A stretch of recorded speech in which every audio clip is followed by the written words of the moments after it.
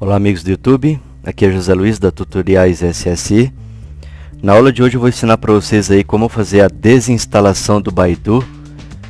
Olha aí, já tem até uma mensagem dele aqui.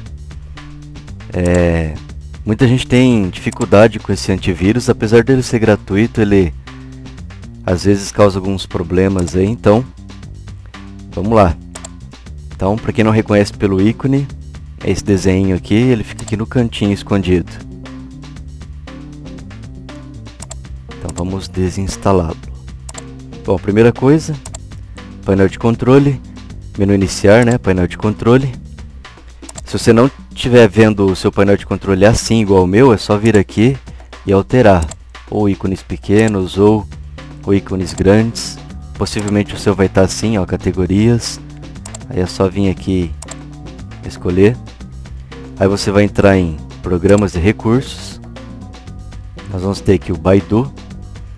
Antes de desinstalar o Baidu, eu vou vir aqui.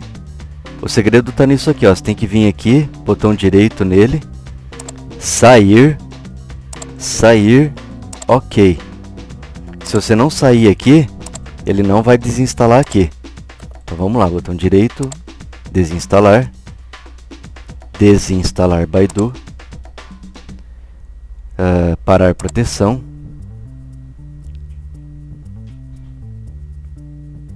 Está sendo desinstalado. Muita gente aí vai lá, desinstala e de repente ele volta sozinho. Ó, concluída a desinstalação. Ó, sumiu aqui da minha lista. Não está mais aqui no canto. Então, vocês viram aí que é bem simples de remover ele, muita gente tem dificuldade. Uh, numa próxima aula eu vou ensinar para vocês como instalar um antivírus. Então, Fiquem atentos aí.